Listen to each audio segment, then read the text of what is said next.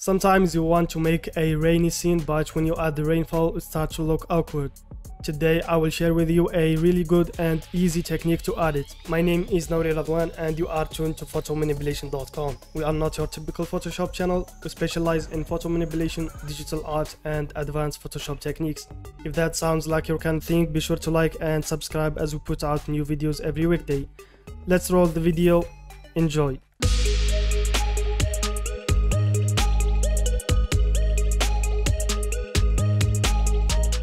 So here we have uh, four images that I'm going to apply the uh, technique on.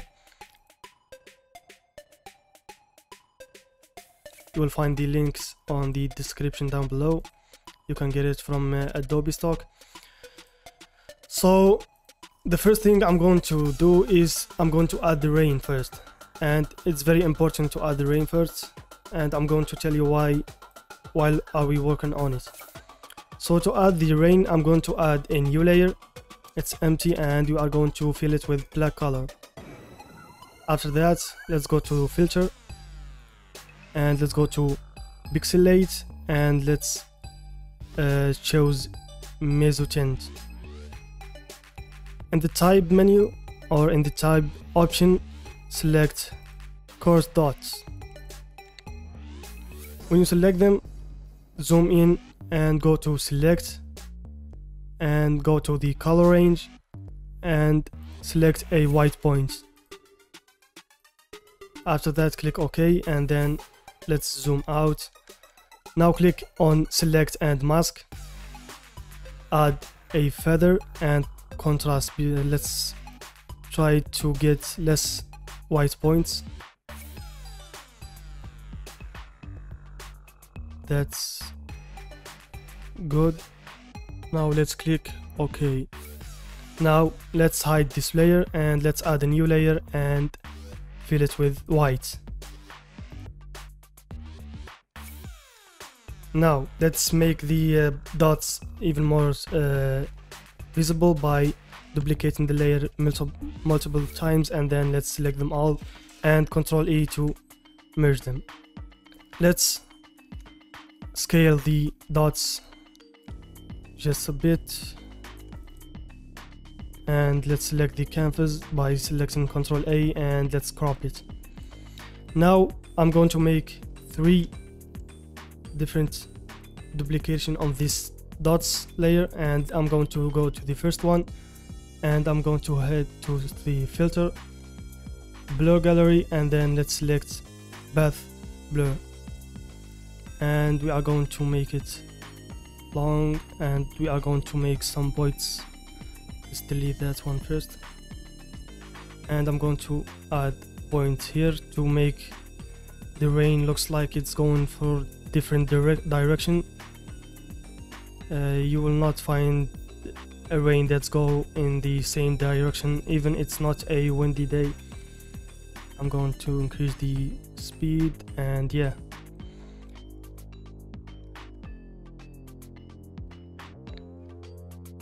now I'm going to the second layer the second duplication and I'm going to click on Ctrl T. And then with the right mouse button I'm going to flip it on horizontal. And then I'm going to blur gallery path blur again and I'm going to add a different direction. That's looking good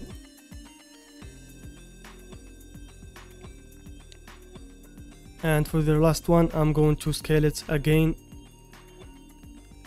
200 200 on both height height and width. And I'm going to crop it. And I'm going to uh, apply the path blur on it. And this time I'm not going to uh, increase the speed. And after hitting ok I'm going to make it blurry by adding a field blur. Just like that. And I'm going to select the three and merge them together and I'm going to duplicate just to make it more visible and apply a color on them. And for this scene I use the color lookup on the moonlight so I'm going to add a moonlight color lookup on them and I'm going to decrease the opacity just a little bit. So yeah that's looking good but let's duplicate it again to make it more stronger just a bit. And I'm going to decrease the opacity. Yeah this is good. Now let's go to the point where we add the rainfall. So to add the rainfall first select your model click two times on it and go to the bevel and emboss and check it I'm going to reset everything to default. Yeah so now I'm going to the style option and I'm going to select emboss. And then I'm going to select where the uh, rain direction is coming from. In my case it's coming from the upper areas from here.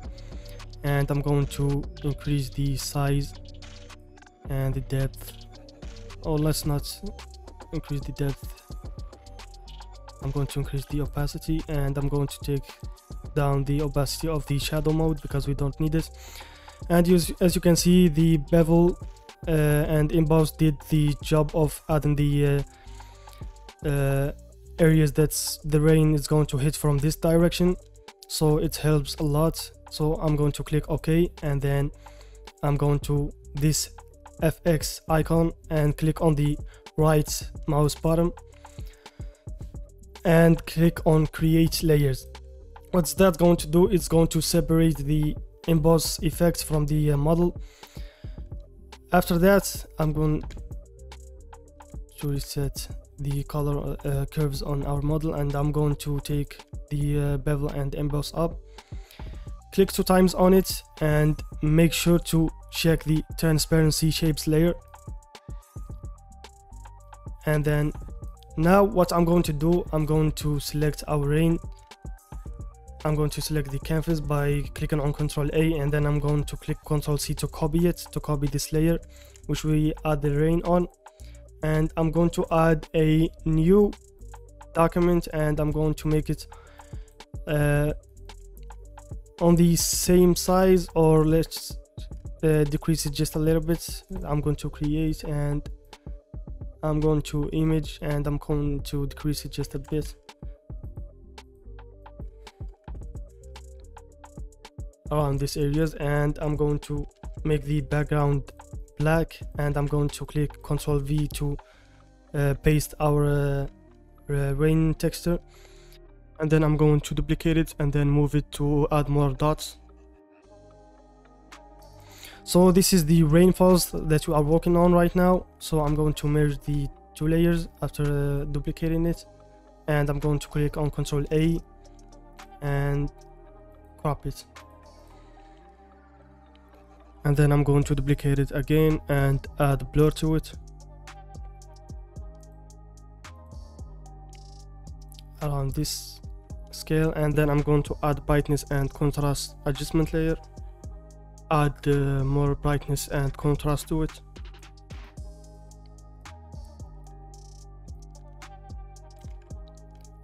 After you finish let's uh, click on shift control alt and e to make them all on a separate layer and i'm going to edit and i'm going to click on define pattern and i'm going to name it rainfall. Now we are done with this one let's go back to our image. So back to our image i'm going to select the uh, emboss adjustment layer and i'm going to name it rainfall. And I'm going to drag it all the way up. And what I'm going to do now I'm going to click two times on it and add the bevel again. I want to be more stronger and more visible. And again let's this time I'm not going to create layer. At this time I'm going to rasterize uh, the rasterize the layer style. So it's going to apply the layer style without uh, creating a new layer. And now what I'm going to do I'm going to click two times on the rainfall and I'm going to the pattern overlay okay I'm going to the reset to default so to show you how I made it from the uh, beginning. So go to the pattern and select the pattern of the rainfall that we just made and decrease it I'm going to zoom in on the image to see more clear. So I'm going to do the uh, this step three times. I'm going to start with a really small dots around uh, 5% uh, scale and I'm going to click OK. And I'm going to duplicate this layer again and I'm going to add more blur to it. Yeah around that and I'm going to click on it and increase the uh, scale percentage of I'm going to make it uh, 10 and I'm going to click OK and I'm going to duplicate it again add more blur Gaussian blur yeah and then increase it to around 20 50 between them let's 17 and now I'm going to uh, select the three of them and I'm going to change the blending mode to screen. Well that's not doing anything because we didn't uh, apply the layer style so I'm going to apply the layer styles by rasterizing them.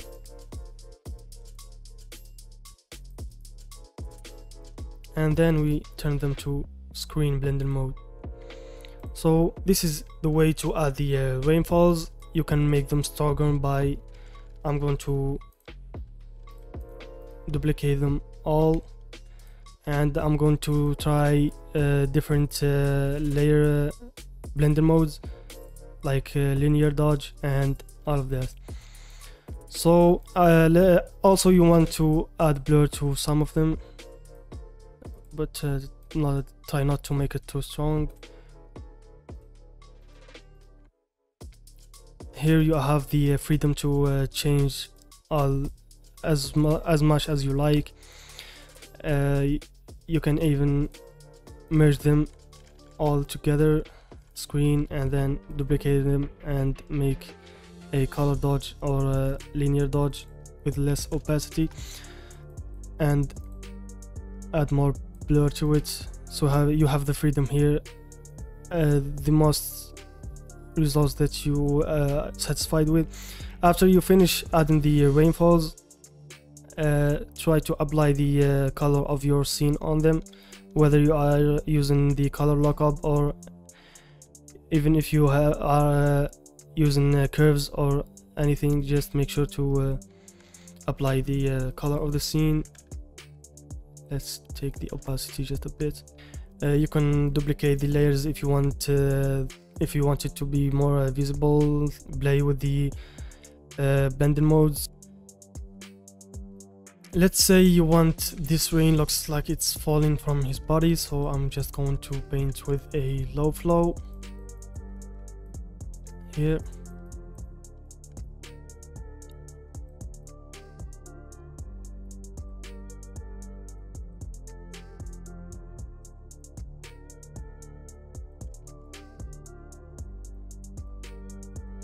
click two times and add the uh, pattern and choose an angle where it looks like the rain is falling from his body. Yeah this one was good. Let's get it back. Yeah this one looks good so I'm going to decrease the scale. Let's make it uh, 15 yeah this looks good and this is looking good and rasterize the layer style and I'm going to make it screen or linear, linear dodge. Yeah. And let's sharpen it just a bit. Click on sharpen. Yeah this is better. Let's make sure it's not too harsh. What I'm doing now I'm uh, masking out the area that I want to make it less visible one more thing I want to show you guys is how to add the uh, drops on his uh, body. So I'm going with a, black brush. I'm going to just paint like that it's okay if you go out of his uh, uh, of the render. Just make sure to it can be random just just make sure it's not too flat and then go to click two times on it and add a bevel.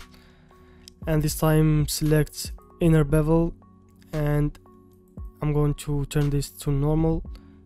And let's try to change the curves. But first I'm going to a point where this the uh, white color start to appear appears on the uh, black uh, strokes we made. And then I'm going to change the curves here till we get a nice uh, drop slug I think this one looks good. Rasterize the layer style and, and I'm going to click on Ctrl U and add lightness around 50% uh, to make the black color uh, gray in case you want to make the uh, blender mode uh, overlay or soft light so it won't affect the uh, body. And I'm going to decrease the opacity of it and I'm going to apply the same color of the uh, scene on it.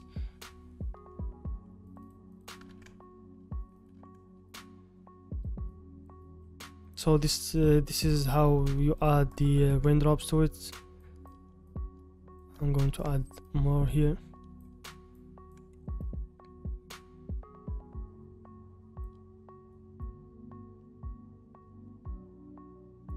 so here I want the uh, the rain to come from this side. So I'm going to click Ctrl V to paste it because we already did copy it from the first image.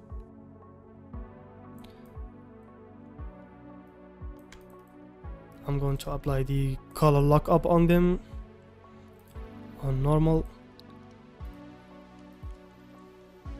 I'm going to merge the color lookup with the rain scene and I'm going to duplicate it and I'm going to add blur uh, to the uh, to the uh, rain.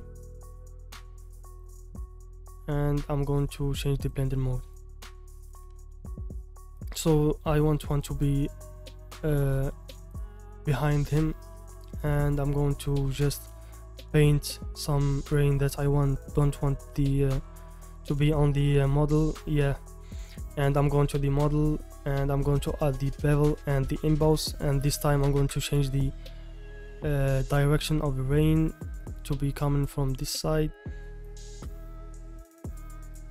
Yeah. I'm going to make it a new layer. And I'm going to drag it all the way up. Name it rainfall. And I'm going to check the transparency shapes layer and I'm going to add another bevel and emboss and rasterize the layer style. And I'm going to add our rain uh, pattern but this time it's coming from this side so let's try and match the uh, direction.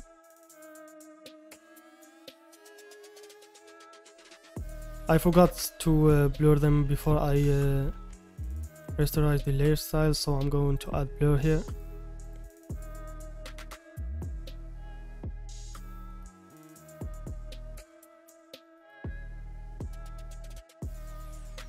Okay and let's add blur to this one too.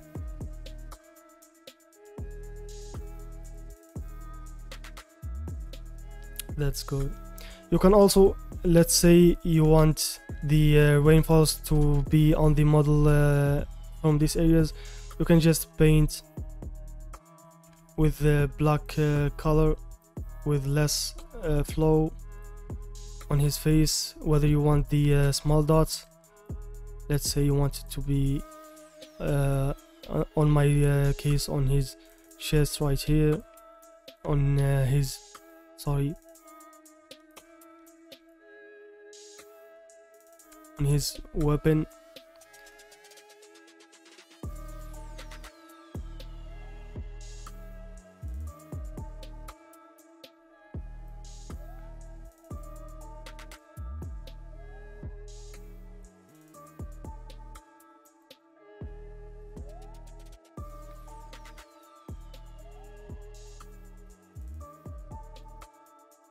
just here. Yeah and I'm going to and then I'm going to rasterize the layer style on uh, all of the three layers. And then I'm going to change the blender mode to screen and then merge them together. And then I'm going to duplicate the layer let's set it to linear dodge and add some blur to it.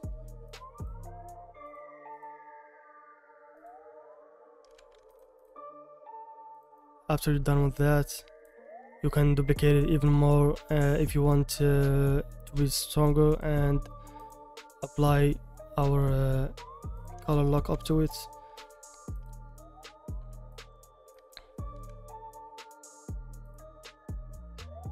on normal.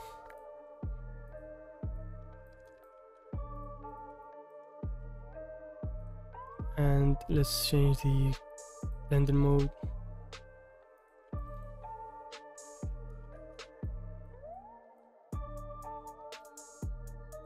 And blur it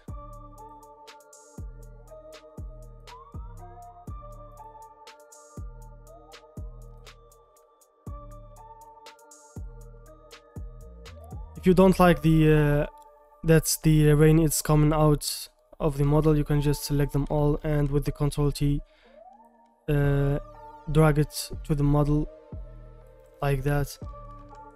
Yeah. I'm going to duplicate it and add the group and make it less visible. So yeah we added this one and let's go to the third one so yeah guys the rest of the video is going to be me uh, doing the same steps again. I'm going to give you more tips. If you want the rainfall to look more dramatic make sure to add a cloud texture and clip it to the uh, rainfalls layers and change the blender mode to soft light or overlay. And also the step of duplicating the uh, rainfall layers and changing the scale of the uh, rain texture depends on your scene. If your scene has like soft rain you can make less duplicated uh, layers. But if your scene has hard uh, rain like a strong rainy day you can make more than three uh, copies of that layer and more different scales